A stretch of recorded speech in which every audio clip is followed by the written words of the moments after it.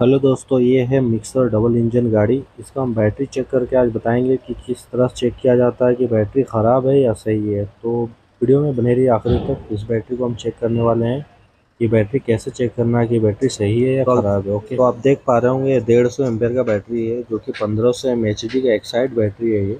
इसका हम छः सेल का ढक्कन ओपन करेंगे और फिर वो छः सेल में स्टार्ट मार करके हम चेक करेंगे कि बॉयल कर रहा है क्या कोई कोई भी सेल हमारा ख़राब है क्या? कोई भी बॉयल कर रहा है क्या सेल? वो चेक करेंगे हम। तो अगर बैटरी आपका ख़राब रहेगा तो कोई भी सेल में हमारा बॉयल करना चाहिए तो अभी चेक कर लेते हैं। मार सेल। मार। हटो।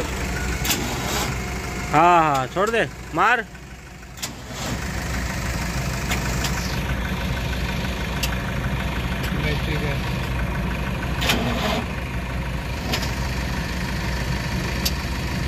मार। मार। रोक।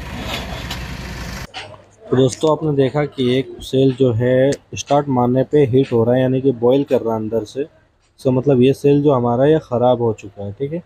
और बाकी का सेल सही है, लेकिन ये सेल बॉईल कर रहा है। आप देख सकते हैं, जैसे कि स्टार्टर मार रहे हैं, ये सेल बॉईल कर जा रहा है, यानी कि ये सेल शॉर्ट हो रहा है अंदर से। इसकी वजह से हमारा करंट सप्लाई जो होना चाहिए, वो नहीं मिल रहा उतना। ओके, इसलिए स्टार्टिंग प्रॉब्लम हो रहा है। तो ये बैटरी ख़राब हो चुका है बिल्कुल, और हमें यहाँ पे नया रिप्लेस करना पड़ेगा ये। तो दोस्तों, देखा आपने किस तरह से लोड देकर चेक किया जाता है बैटरी का कि सेल ख़राब है या नहीं। यानी कि स्टार्ट मारेंगे तो लोड आएगा लोड आएगा तो हमारा बैटरी का जो सेल है वो पता चल जाएगा कि बैटरी ख़राब है हमारा या सही है। तो इस तरह से अगर बैटरी चेक करना है तो आप कर सकते हैं आसानी से।